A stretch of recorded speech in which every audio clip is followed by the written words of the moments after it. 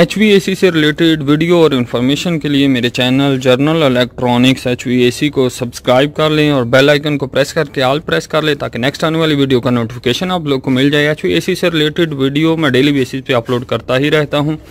और अगर गाइज़ आपने मुख्तलिफ़ किस्म के ए की वीडियो देखनी हो तो मेरे चैनल की प्ले में जाएँ और यहाँ पे बहुत सारे आइकान बने हुए हैं। मुख्तलिफ़ एयर कंडीशन के तो वहाँ पे आपको बहुत सारी वीडियो मिल जाएँगी। यानी कि आपने अगर स्प्लिट यूनिट की वीडियो देखनी है। अब चैनल की प्लेलिस्ट में जाएँ, यहाँ पे स्प्लिट यूनिट का आइकान बना हुआ है। उस आइकान में जाएँ और आपको इस आइकान में सिर्फ़ स्प्लिट यूनिट से रिलेटेड बहुत सारी वीडियो मिल जाएँगी। इसी तरह अगर आपने चिलर्स की वीडियो देखनी है तो आप प्लेलिस्ट में चिलर वाले आइकान में जाएँ और यहाँ पे आपको सिर्फ़ चिलर से रिलेटेड बहुत सारी वीडियो मिल जाएँगी। इस तरह प्लेलिस्ट में और बहुत सारे आइकन बने हुए हैं, जैसा कि split unit duct split unit fan coil unit fresh air handling unit air handling unit chillers इस तरह और भी। तो आपने जिस भी किस्म की वीडियो देखनी हो, चैनल की प्लेलिस्ट में जाके आइकन में जाके देख सकते हैं। गायज मैं हूँ रिजवान। गायज एक फ्लोर स्टैंडिंग एसी है। इसमें कंप्लेन है कि ये ठंडा नहीं कर रहा, ठंडा कम कर रहा है। चल तो रहा है। कूलिंग है, लेकिन कम है। तो वो देखेंगे हम कि क्या प्रॉब्लम है इसमें। टेम्परेचर मिनिमम रख लेते हैं सेवनटीन ओके सबसे पहले मैं आपको इसका डिस्प्ले बता देता हूँ। ये कूल के लिए है, यहाँ कूल आ जाता है। इसको दबाएँगे तो ये सिर्फ़ फ़ैन पे चला जाता है। ये फ्री ये एक्स्ट्रा बटन है, काम नहीं है इसका कोई भी। ये फ़ैन की स्पीड के लिए, है ऑन कर लेते हैं। ये फ़ैन की स्पीड स्लो मीडियम हाई के लिए। टेम्परेचर रूम टेम्परेचर मिनिमम कम करने के लिए रूम टेम्परेचर ज़्यादा करने के लिए ये ऑन ऑफ़ का बटन है, ये डिस्प्ले को चेंज करने के लिए ये रूम टेम्परेचर सेट टेम्परेचर ये क्लॉक ये डिस्प्ले चेंज करने के लिए है। इसके अलावा ये टाइमर ऑटो सेव और फ़िल्टर के बटन हैं। इसको हम मिनिमम रख लेंगे मिनिमम सेट कर लिया है। ये रूम सेट टेम्परेचर है 17 मिनिमम है, वो रख लिया रूम टेम्परेचर 22 है। सबसे पहले हम इसका फ़िल्टर चेक कर लेंगे। फ़िल्टर चेक करने के लिए ये इसकी जाली है, इसको थोड़ा सा बाहर निकालेंगे। इस मॉडल में कोई स्क्रू नहीं लगा हुआ इस जाली को तो यहाँ से फ़िल्टर बाहर निकाल सकते हैं। फ़िल्टर थोड़ा सा गंदा है तो इसको क्लीन कर लेंगे। यहाँ पे इसके पाइप लगे हुए हैं, गैस के पाइप लिक्विड लाइन और सेक्शन लाइन यहाँ पे इसका पैनल बॉक्स है, जिसमें पीसी बोर्ड लगा हुआ है, कनेक्शन लगे हुए हैं आउटडोर टू इंडोर इसके अलावा ये एयर सेंसर है। तो गैस, इसको हमने 17 पे रख लिया है। बाहर जाके इसकी गैस वगैरह चेक करते हैं गेज लगा के कि क्या ये काम कर रहा है या नहीं। तो यहाँ पे काफ़ी सारे फ्लोर स्टैंडिंग एसी लगे हुए हैं, एक ये लगा हुआ है। दूसरी साइड पे भी चार पाँच लगे हुए हैं तो काफ़ी में कंप्लेन है, तीन चार में कंप्लेन है तो सारे आपके साथ शेयर करेंगे वीडियो एक एक करके मैं अपलोड कर दूँगा। और देखेंगे कि क्या क्या कंप्लेन है इनमें। ये हमारा आउटडोर है, चल रहा है, बंद हुआ है, दोबारा स्टार्ट हो गया है। यहाँ पे इसकी स्पेसिफिकेशन है मॉडल नंबर इसका thirty eight C K three phase unit है, चार टन का यूनिट है फ्लोर स्टैंडिंग यूनिट है, इसका आउटडोर है। तो गैस देखेंगे ये एसी जो है ऑन ऑफ़ हो रहा है कंप्रेसर और फ़ैन दोनों ही बंद होते हैं ऑन होते हैं, इसी तरह कर रहा है। तो इसको हम खोल लेंगे और चेक करेंगे कि क्या प्रॉब्लम है। मोस्टली जो आता है, ये या तो हाई प्रेशर से ऑन ऑफ़ ट्रिप हो रहा है, दोबारा वापस ऑन हो रहा है, या लो प्रेशर स्विच से ऑन ऑफ़ हो रहा है तो ये हमें कैसे पता चलेगा? हम गेज लगाएँगे, यहाँ पे अपनी गेज लगाएँगे और देखेंगे कि इस क्या कर रहा है, क्यों ऑन ऑफ़ हो रहा है। तो यहाँ पे हमने अपनी गेज की लीड लगा रहे हैं। तो गैस इसमें जो है वो, जी तो इसमें गैस ही कम है, जैसा कि आप देख सकते हैं। गैस इसमें थर्टी तक है। यानी इसमें गैस कम है, इसीलिए ये लो प्रेशर स्विच से ऑन ऑफ़ हो रहा है। जैसे ही गैस लो होती है लो प्रेशर स्विच इस सिस्टम को ऑफ़ कर देता है।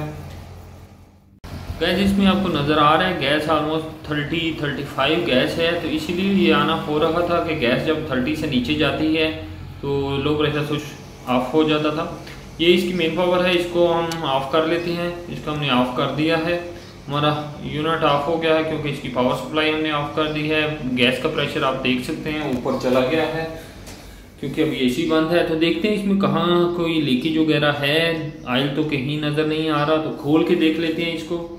और क्या क्या इसके आउटडोर में लगा हुआ है, वो भी आप लोग को दिखाते हैं। यहाँ पे एक और यूनिट लगा हुआ है, वो सही चल रहा है, उसमें कोई कंप्लेन नहीं है। वो भी सेम मॉडल का है चार टन का है फ्लोर स्टैंडिंग एसी है वो भी। तो इसका कवर खोल लिया है। इसके पैनल में एक अरले लगी हुई है। थ्री फेस यूनिट है तो थ्री पोल अरले लगी हुई है ट्वेंटी फोर वोल्ट की। इसके अलावा इसमें ट्रांसफार्मर लगा हुआ है स्टेप डाउन इसके अलावा फ़ैन के लिए एक फ़ैन कैपेसिटर लगा हुआ है।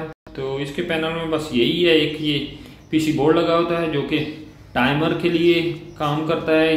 टाइमर है, यानी जब भी कंट्रोल आएगी तो कुछ टाइम बाद ये आउटडोर को कंट्रोल देता है ताकि आउटडोर को टाइम मिल सके बार बार कोई ऑन ऑफ़ करे तो प्रॉब्लम ना हो। तो इसी हम लोग खोल रहे हैं।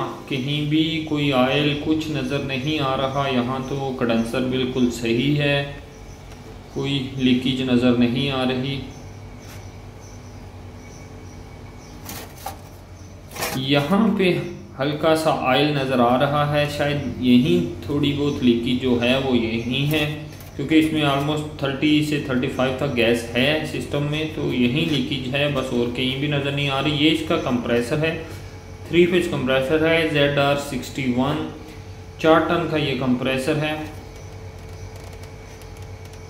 कोपलैंड स्क्रोल का कंप्रेसर इसमें लगा हुआ है, चार टन का थ्री फ़ेज़ कंप्रेसर तो गैज नट जो लूज हैं, जहाँ पे थोड़ा बहुत आयल आया हुआ है, उनको हम टाइट कर लेंगे। ये इसका कंडेंसर फ़ैन है। गैज इनमें कंडेंसर फ़ैन जो हैं, वो टू फेस भी आते हैं और सिंगल फेस भी आते हैं। लड़का कवर बंद कर रहा है, क्योंकि इसमें कोई इश्यू नहीं है।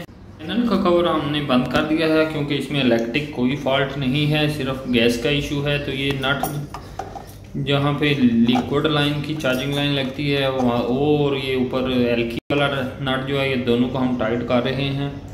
दोनों को अच्छे तरीके से टाइट कर देंगे। यहीं पे लीकेज थी, अब हम इसकी पावर ऑन कर लेते हैं और इसमें गैस टॉप अप करेंगे। यूनिट अभी स्टार्ट नहीं हुआ आउटडोर अभी स्टार्ट नहीं हुआ नहीं हुआ। तो यहीं से अंदर जाके हम इसका इंडोर देखते हैं।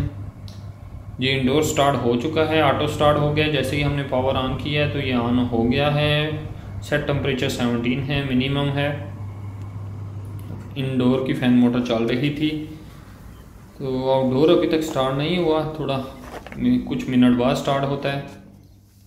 गैस आउटडोर हमारा स्टार्ट हो चुका है, जैसा कि आप देख सकते हैं गैस वही 35 तक है, इसमें गैस हम टॉप अप कर लेंगे। आठ ट्वेंटी टू है इसमें। पुराना मॉडल का यूनिट है तो आठ ट्वेंटी टू है इसमें। इसमें हम गैस टॉप अप कर रहे हैं। लीकेज जो थी वो नट ही हल्के फुल्के लीक थे, इसलिए गैस कम हुई हुई थी। उसी वजह से ये कूलिंग भी कम थी और आउटडोर जो ऑफ़ हो रहा था बार बार ऑन होता था ऑफ़ होता था लो प्रेशर स्विच से वो भी गैस जब चार्ज कर देंगे तो वो भी सही हो जाएगी।